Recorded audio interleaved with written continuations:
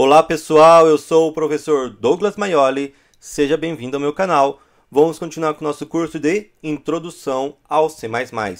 Na aula de hoje vamos falar sobre classes. O que é uma classe?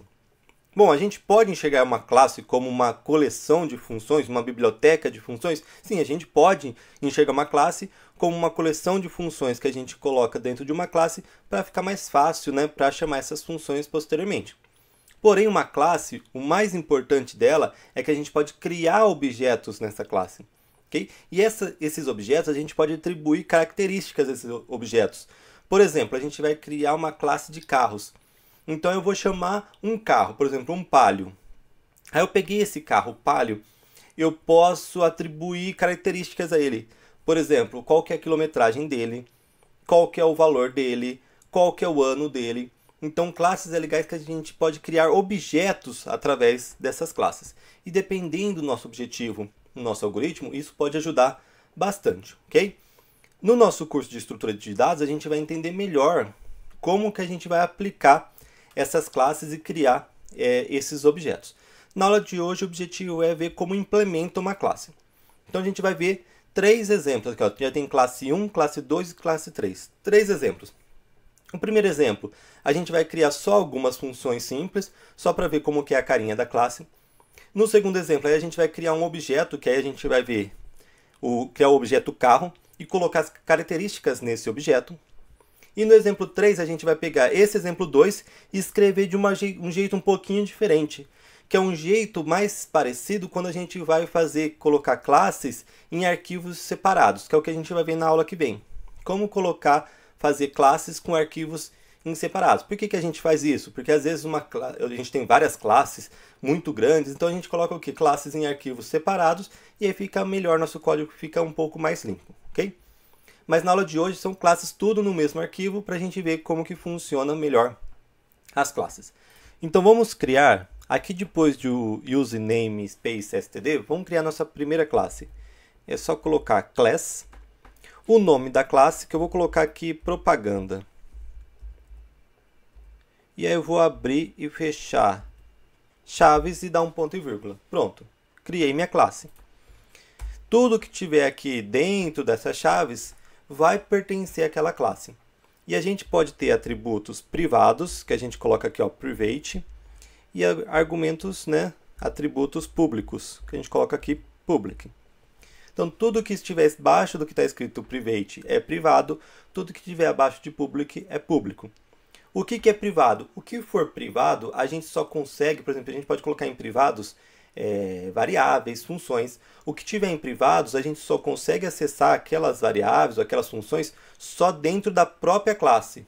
Okay? Só outras funções da classe que conseguem acessar o que está em privado. Agora, o que a gente colocar em público, a gente consegue acessar através de outras classes, outras funções, né? Ou, por exemplo, aqui na função principal. Então, se eu tiver aqui na função principal, eu só vou conseguir acessar só o que tiver aqui na parte pública da classe. Por isso, tudo que eu quiser que possa ser chamado lá da função principal, eu vou colocar aqui em público. Então, nesse primeiro, a gente não vai colocar nada em privado, a gente vai colocar só em público. Vamos começar criando nossa primeira função aqui da nossa classe. Okay? E aqui, como que a gente cria funções? Vocês lembram de criar funções? Você coloca primeiro o, o tipo de saída. No caso, eu vou colocar void, porque essa função não vai ter nenhuma saída, ok? Nenhum retorno.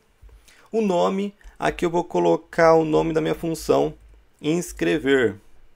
Aí eu vou abrir e fechar parênteses para mostrar que não tem nenhum atributo, nenhuma entrada, essa função não vai precisar de dar nenhuma entrada. ok? Aí eu vou abrir e fechar chaves. Tudo que eu colocar aqui dentro dessas chaves vai acontecer quando eu chamar essa função escrever. Então, quando eu chamar essa função escrever, vai imprimir na tela o seguinte, ó. Se inscreva no canal do professor Douglas Maioli.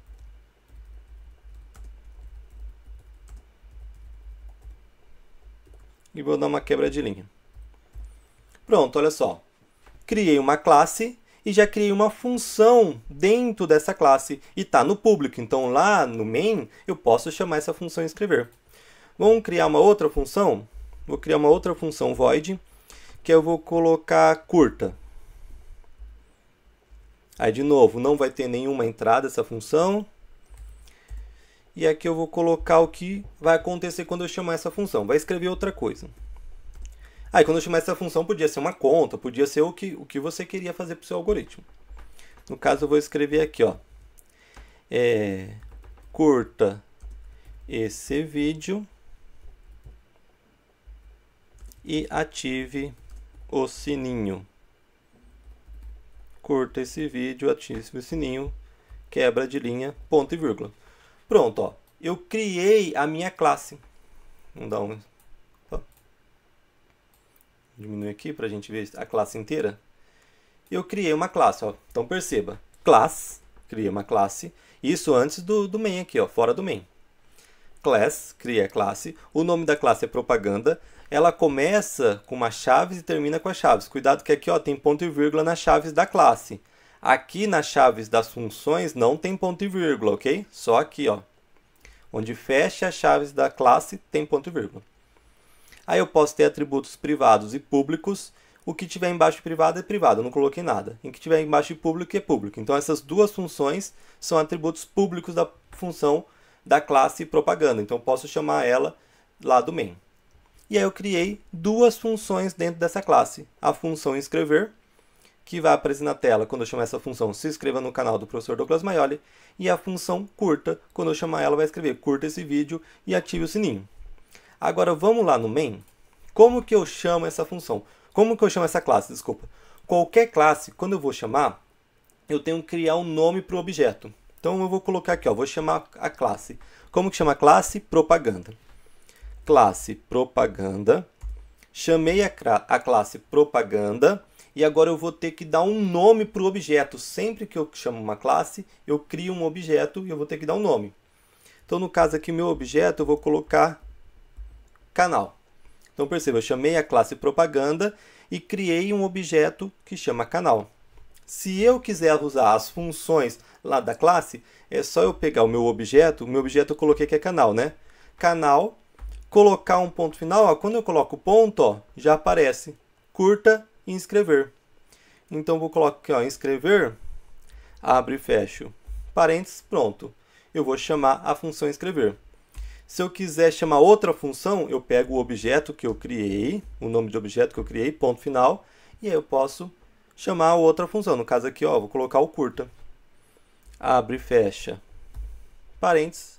Pronto, ó, perceba que aqui eu já chamei a função, criei um objeto. Através desse objeto eu chamei a função escrever, através desse objeto eu chamei a função curta. Vamos dar um F6? Vou dar um F6 Vamos aumentar aqui agora para a gente ver melhor. Se inscreva no canal do professor Douglas Maioli, curta esse vídeo, ative o sininho. Vamos ver aqui agora na classe 2.cpp como que a gente faz para criar o que eu falei, né, o objeto carro. Então a gente vai criar o objeto carro e algumas características. Então vamos criar uma classe. Então class, né, o nome da classe vai ser carro. Aqui lembra de quando você abre e fecha, no caso da classe, as chaves você coloca ponto e vírgula. O que tiver aqui dentro, lembrando que vai ter os privados e os públicos.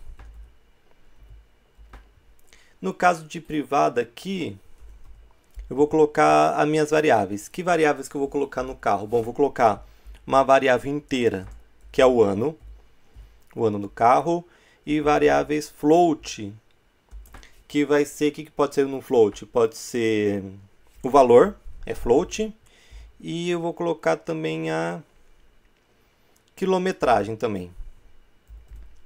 Também colocar como float, né? Pode ser 500 km, 500,5 km. Não sei, se vocês quiserem colocar quilometragem inteira também não tem problema. Vou colocar float. Então aqui no privado eu coloquei as minhas variáveis. Geralmente as variáveis a gente coloca no, no privado, porque a gente quer que acessa as funções lá, né? As variáveis a gente vai só trabalhar com elas só lá dentro da classe mesmo. Então, coloquei três variáveis, que são três características do carro-carro. que é o ano, que é inteiro, o valor, que é float, e a quilometragem, que é float também. Coloquei float também. Vamos criar agora umas funções. Ó, quando a gente vai trabalhar com classes, funções muito que a gente usa bastante é o get e o set. O que, que é get e set? O get a gente usa quando a gente quer obter alguma coisa. Então, por exemplo, ah, eu quero saber qual que é o ano desse carro.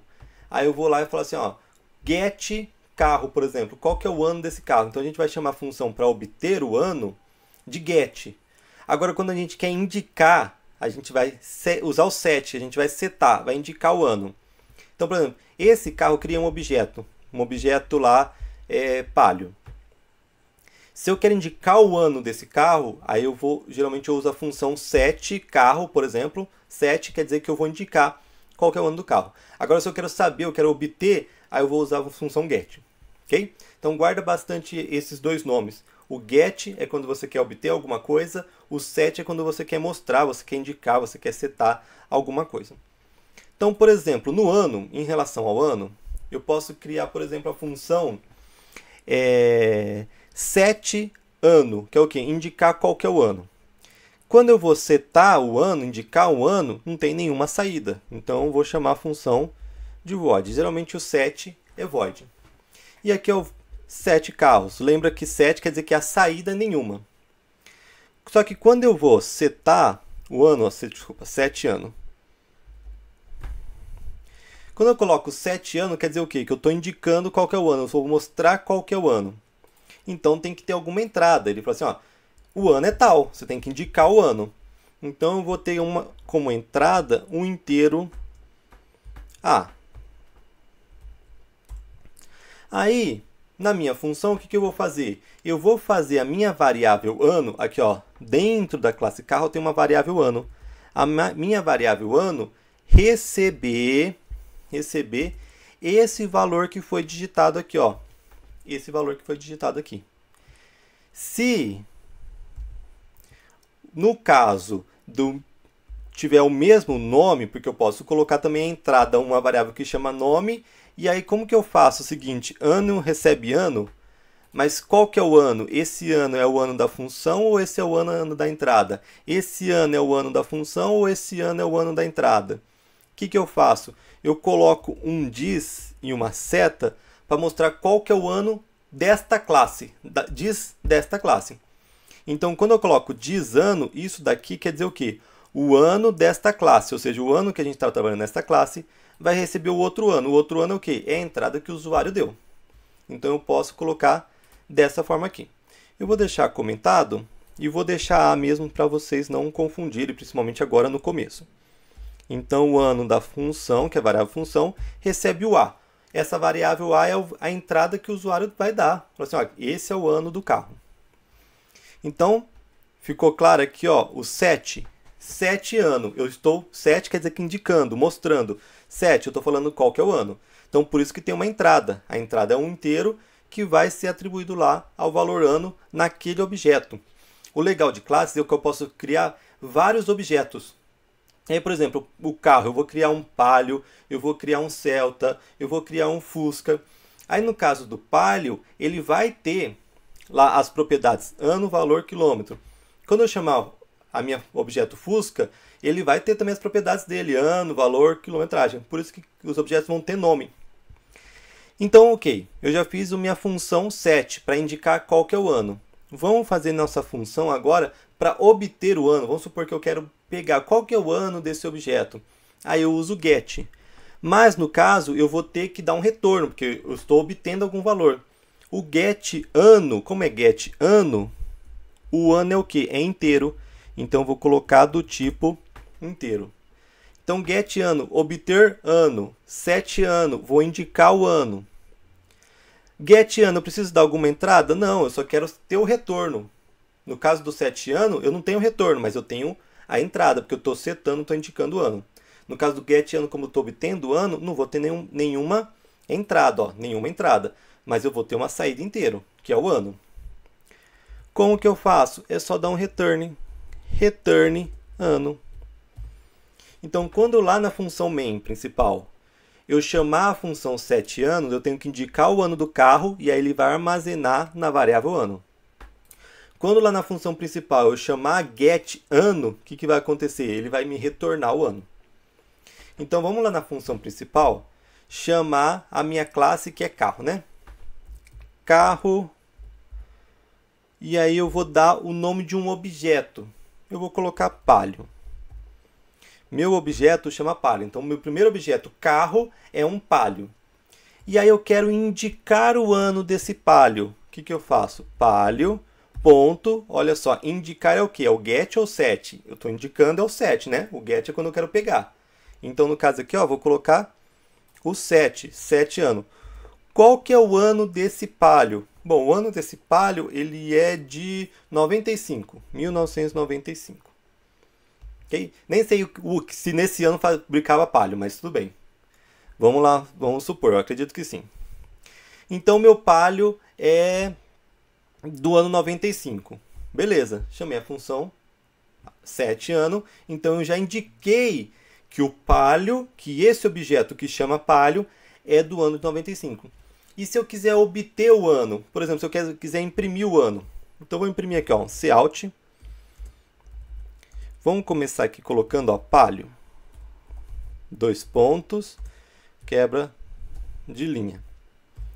E aí eu vou obter o ano desse palio. O que, que eu coloco? Ó, vou colocar aqui, ó, ano, vou imprimir a palavra ano. Como que eu obtenho o ano? Aí eu vou chamar a função ó, palio ponto get ano. Aí eu vou obter o ano e eu já vou imprimir. E vou dar um endline. Vamos testar aqui, ó. Vou dar um F6. Vamos ver se não tem nenhum erro. Tem erro.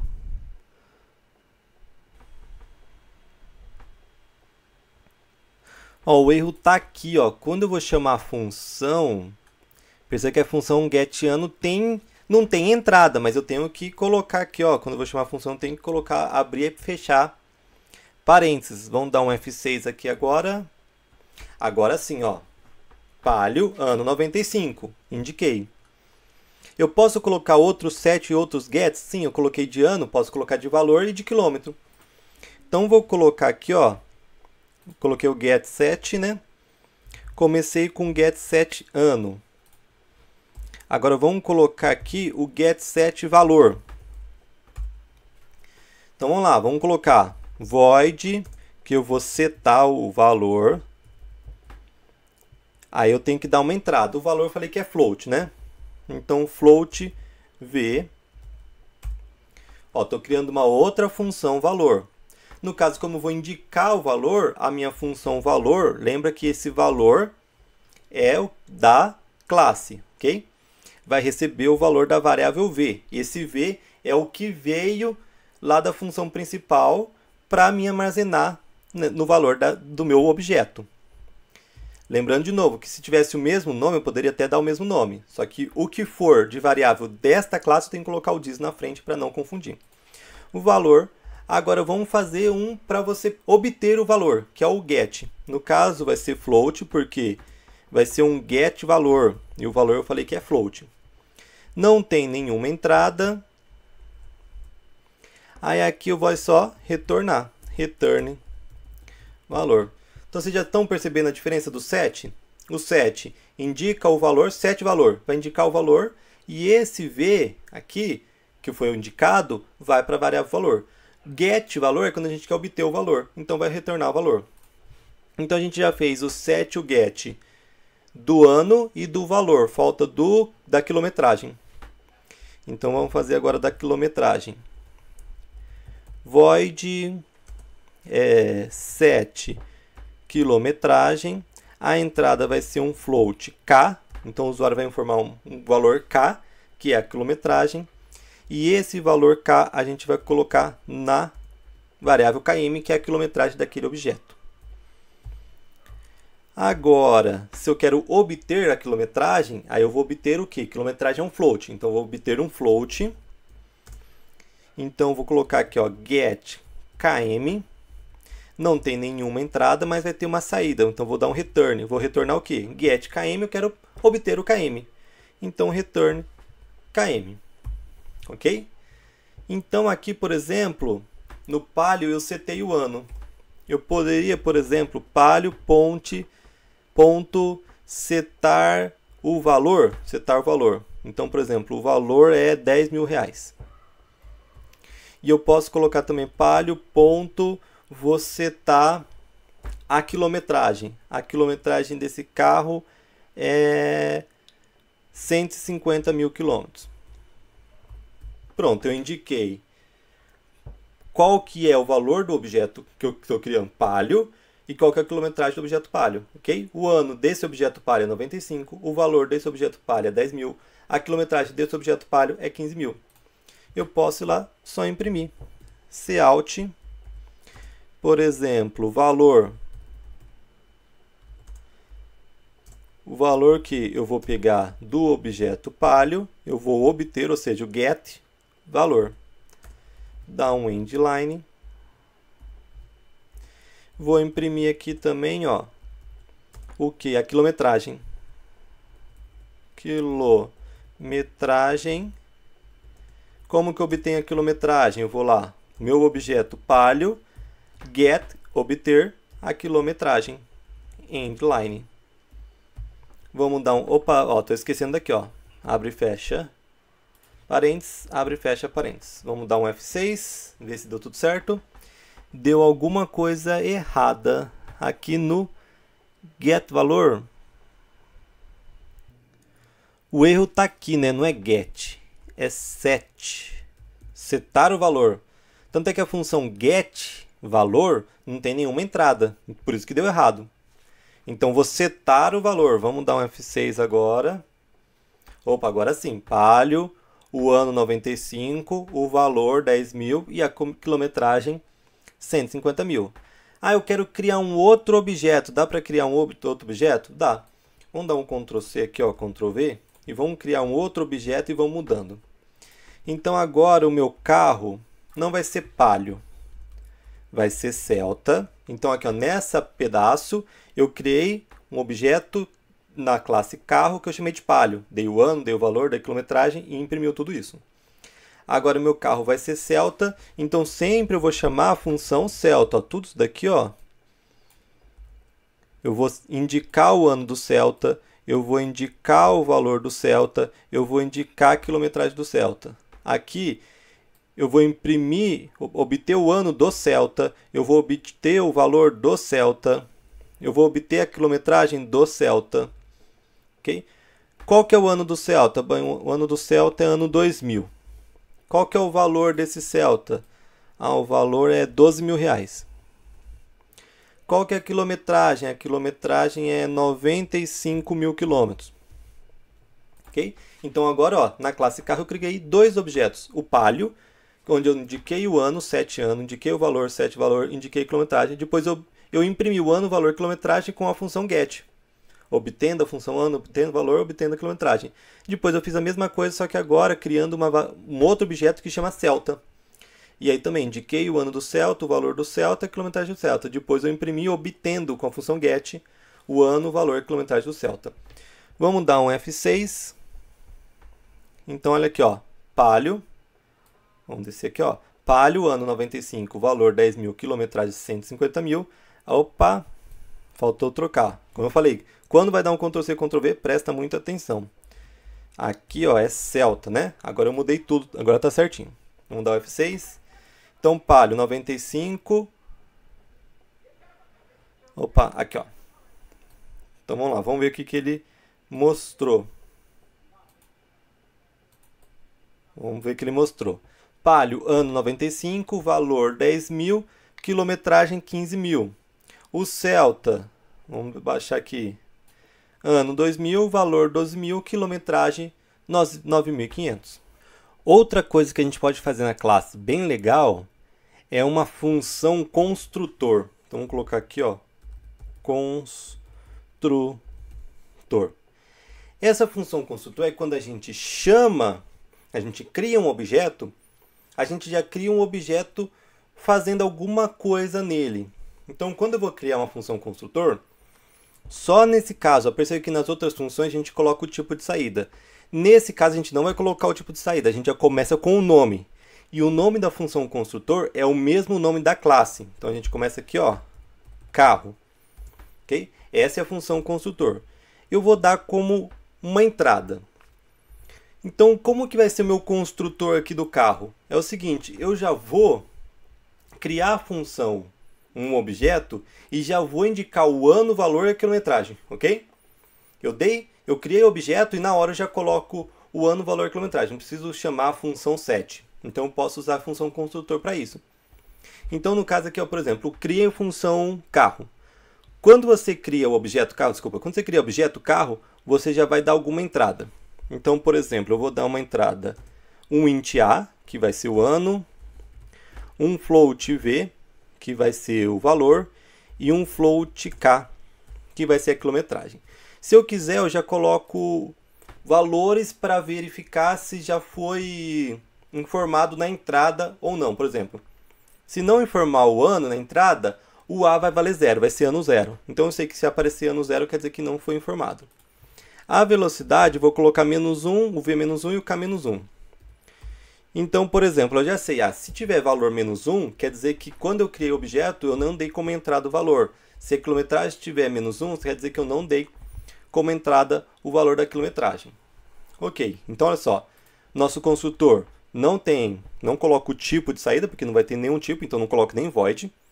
E ela vai ter o mesmo nome que a classe. Essa função ela já vai ser chamada automaticamente quando eu crio um objeto. Criei um objeto, ela já chama automaticamente essa função.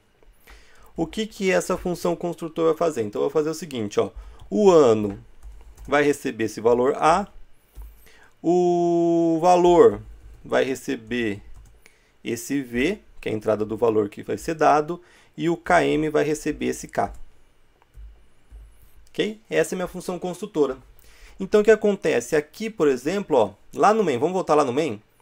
Quando eu crio esse objeto palio, eu já posso dar como entrada por exemplo, o ano dele, 1995, o valor dele, 10 mil, e o, a quilometragem dele, 150 mil. Não preciso chamar a função set. Eu só chamo a função set caso eu não der nada como entrada. Se eu não der nada como entrada, eu tirar isso daqui, tiver desse jeito, o que, que acontece? Ele vai dar como entrada lá o ano 0, o valor menos 1 e a quilometragem menos 1.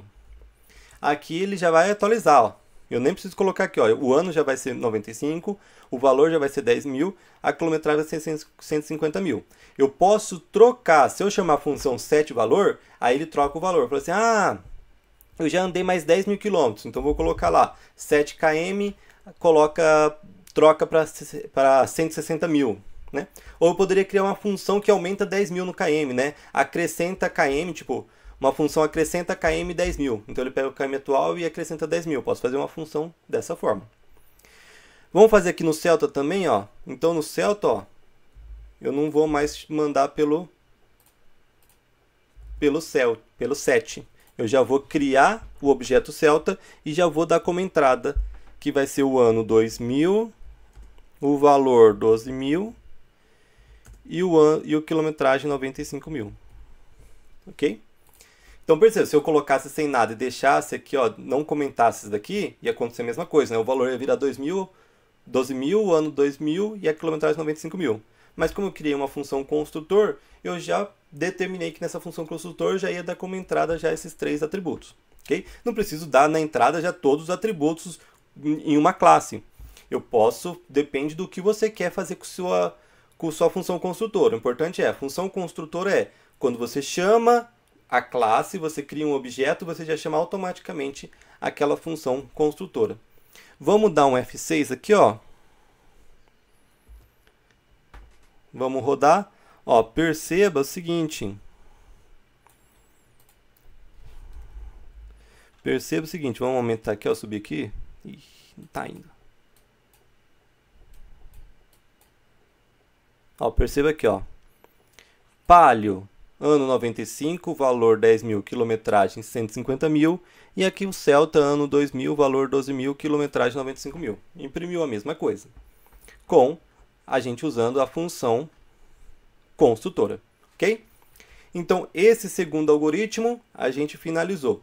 Vamos para o terceiro algoritmo. A gente vai escrever exatamente o mesmo algoritmo que está aqui, mas de um jeito diferente, já prontinho.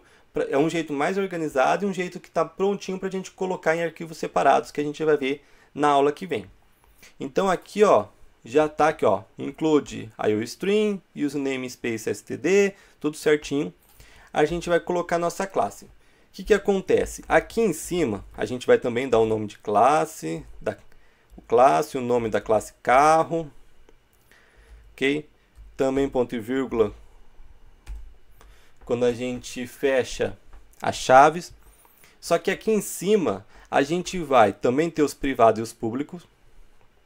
Vamos colocar aqui, ó, private e public. As nossas declarações de variáveis a gente faz aqui normal. Vamos copiar aqui, ó. Vou copiar aqui da classe 2. As variáveis, declaração das variáveis, a gente faz aqui normal. Ok? Só que as funções, aqui a gente só vai colocar o tipo de saída, o nome da função e os argumentos. Só o que a função faz eu não vou, fazer, vou colocar aqui. Ok? Então, olha só, eu vou copiar as, as funções. Ó, eu estou copiando as funções que tem até o construtor. Eu vou copiar as funções que está dentro da classe. A função construtor e as outras funções, ok? Eu vou dar um Ctrl C, Ctrl V, só para vocês verem o que acontece aqui, ó. Copiei as funções que, que eu vou fazer? Em cada função eu vou apagar tudo que está aqui ó, entre as chaves, ou seja, tudo que acontece com a função. Olha o que, que sobrou. Sobrou o tipo de saída, o nome da função e o argumento. ok? Vou dar aqui um ponto e vírgula aqui. Aqui mesma coisa, ó, tudo que tiver nessa função, ó, tudo que está, incluindo as chaves, dentro das chaves, eu vou apagar. Ficou o que? Só o, o tipo de saída, o nome da função e os argumentos. Aqui não tem argumento, vou colocar ponto e vírgula. Vou fazer isso com todas, ó. O que está dentro dos, das chaves de cada função, eu apago, troco por um ponto e vírgula. Aqui mesma coisa, apago, troco pelo ponto vírgula. Aqui mesma coisa, apago, troco pelo ponto vírgula. Aqui mesma coisa, apago, troco pelo ponto e vírgula. Lá na função construtora também faço isso, também faço isso, ó. Tudo que está dentro da função, dentro das chaves, vou apagar, trocar pelo ponto e vírgula incluindo esses valores aqui de entradas iniciais, incluindo esses valores de entrada inicial. Ok? Esse igual a zero, igual a menos 1, eu só deixo só realmente o tipo e a variável que vai ter. Então, olha como que ficou minha função. Ó. Classe, carro, variáveis declaradas, normalmente. Agora, olha cá, cada função só está o nome e as entradas. No caso do, da função construtora, não tem o tipo de saída, mas as outras, tipo de saída, nome e as entradas, os argumentos. Tipo de saída, nomes e argumentos. Depois ponto e vírgula em todos. Então aqui em cima, olha só, eu só vou colocar só as funções, ó. Só tá, só tá um rol, o rol de funções, as funções que eu posso usar. E onde eu coloco o que a função faz? O que a função faz, ó, isso daqui está antes do main, ok? Acima do main. Então tenho função classe, variáveis, só que a função, só o nome da função, o tipo de saída, o nome e a entrada, ok? Onde que eu coloco? Aí depois aparece o main. Onde que eu coloco o que a função faz? Aí eu coloco embaixo do main. Então aqui embaixo do main eu vou colocar o que a função faz. Então vou voltar lá para a classe 2. Eu vou copiar minhas funções de novo, ó, vou dar um Ctrl C, que eu já está selecionado as funções, e vou dar um Ctrl V. Perceba que as funções que eu colei foi tudo, ó, depois do main, ó, depois do main que aparece. O que, que acontece? Aqui, ó, antes do nome de cada função, eu vou colocar o nome da classe que lhe pertence, dois pontos, dois pontos. Ó, carro, dois pontos, dois pontos. Outra função, essa função aqui, ó, 7 ano, vou colocar o nome da classe que ele pertence, dois pontos, dois pontos. O outro, get ano, nome da classe, dois pontos, dois pontos. Outro set valor, carro, que é o nome da classe, dois pontos, dois pontos. O outro get valor aqui, ó, carro, dois pontos, dois pontos. O outro função, carro, dois pontos, dois pontos. E o outro aqui, ó, carro, dois pontos, dois pontos. Então perceba que aqui eu coloquei o que as funções fazem, só que eu coloquei carro na frente, ok? Perceba que no construtor não tem, é a única função que não tem o tipo de saída. Mas em todas as funções, eu copiei a função certinho, igual a gente tinha escrito, só coloquei no, na frente do nome de cada função o nome da classe, dois pontos, dois pontos, carro, dois pontos, dois pontos. Ok? Então, recapitulando, no começo eu fiz o que a mesma coisa que estava escrito, só que o que? Em cada função eu apaguei o que cada função fazia. Eu só deixei o tipo de saída, o nome e as entradas e coloquei um ponto e vírgula. E depois do main eu coloquei todas as funções, só as funções, ok? Só que na frente do nome da função eu colocava o nome da classe, no caso era carro, dois pontos, dois pontos. E aqui no main, dentro do main eu vou fazer a mesma coisa que está lá no classe 2. Classe 2, lembra como que eu chamava a função? Eu chamei a função para criar o objeto palio e aqui para criar o objeto celta. Vamos copiar essas mesmas coisas, ó. Igualzinho, ó, dentro do main, crio o palio já com essas esses atributos ano, valor, quilometragem já que vai ser criado na no construtor. E aí eu vou imprimir qual é o ano, qual é o valor, qual é a quilometragem, mesma coisa com o Celta. Vamos dar um F6 aqui, ó, para ver o que, que acontece. Dei um F6, olha só, rodou igualzinho. Palio, ano 95, valor 10 mil, quilometragem 150 mil. Celta, ano 2000, valor 12 mil, quilometragem 95 mil quilômetros. Ok? Então a gente viu três exemplos na aula de hoje. Esse exemplo só que eu fiz só funções é, simplesinhas. Aqui que eu coloquei, criei já um com objeto carro e eu coloquei tudo junto, os nomes das funções, o que as funções fazem, tudo junto entre o use namespace std e o int main. Entre esses dois eu coloquei a classe inteira com tudo que ela precisa, você precisa saber da classe. Okay? Aqui a gente tem as funções, ou a gente chama de métodos também. Dentro da classe a gente pode chamar essas funções de método, né? são os métodos das classes, ou seja, as funções da classe. E a gente implementou lá dentro do main, chamou a função e criou objetos e deu os atributos, os valores dos atributos desse objeto. Depois imprimiu. E nessa terceira, a gente fez a mesma coisa, só que colocando de uma cara diferente. A cara daqui é o que? Entre os namespace std e o int main, a gente colocou a nossa classe, declarou as variáveis normalmente, só que no caso os métodos, as funções, a gente só colocou de tipo de saída, nome e os argumentos de entradas, ponto e vírgula. A gente só falou o que cada função faz, depois do final do main, a gente colocou o que cada função faz. Lembrando que a gente coloca o nome da classe na frente, dois pontos, dois pontos de cada função. Isso fica mais organizado porque quando você começa, ó, você, só, você tem uma lista das funções que você pode chamar, ok? Então não precisa, não está carregado, tipo, o que a função faz. Você só tem as funções que você pode chamar, uma lista de funções que você pode chamar. Se você quiser saber o que a função faz, aí você vai lá no final, depois no main, ok? Na aula que vem, a gente vai, eu vou mostrar como que se faz uma classe com arquivos em separados, e a gente vai usar exatamente esse classe 3, essa terceira forma que a gente fez a, a classe, e vai ajudar a gente para facilitar a montar os arquivos em separados. E também agora vou passar para vocês o desafio 11, que é o último desafio do curso, ok? Então vamos ver o desafio 11, o último desafio do curso, para vocês tentarem resolver. Aqui, finalmente, o último desafio do nosso curso de introdução ao C++ é o seguinte, você vai criar um algoritmo em C++ que tem uma classe, essa classe vai chamar Cidades Brasil, ok? E aí você vai criar alguns, algumas características da, dos, desses objetos dessa classe, ok? Alguns atributos dos objetos dessa classe. Por exemplo, você vai pensar, mas pode colocar, por exemplo, população, ano de fundação dessa cidade, ok? Entre outros atributos. Então, tente fazer esse desafio 11. Crie uma classe, ok? Pode ser num arquivo só, como a gente viu na aula de hoje, ok? Que essa classe chama Cidades Brasil. Crie um construtor. E aí tem alguns gets e sets que você vai colocar com alguns atributos, como esses que eu falei, esses dois, população e ano de fundação, ok? Então tente fazer esse desafio e depois eu vou trazer a minha resolução ainda. Bons estudos a todos, até o próximo vídeo.